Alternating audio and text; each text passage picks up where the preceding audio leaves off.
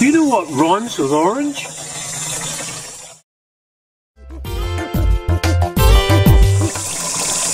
No, it doesn't. I'm just winding you up.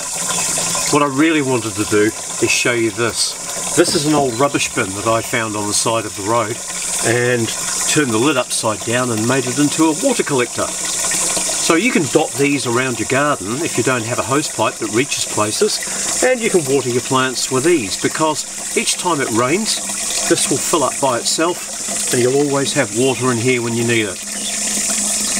It's really easy to make. All it is, as I said, is an old rubbish bin. They come in two or three different sizes. It's got a rose from a watering can glued into the middle. The lid's been turned over and these cutouts have been put in so that the handles can still hold the lid on. There you go.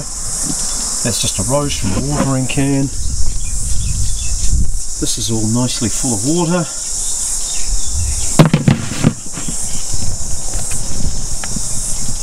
and with a spin of the tap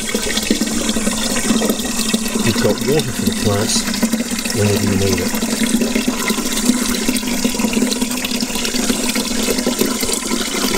It rained earlier on today. Let me show you how well it works.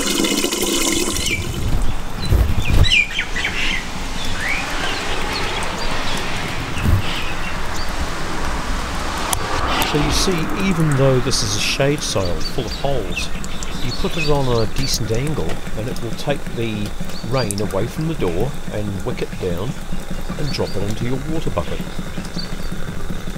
On the bottom of the water bucket I fitted a tap and that tap can have a soaker hose put onto it so that it continuously feeds or you can just fill a bucket and use it.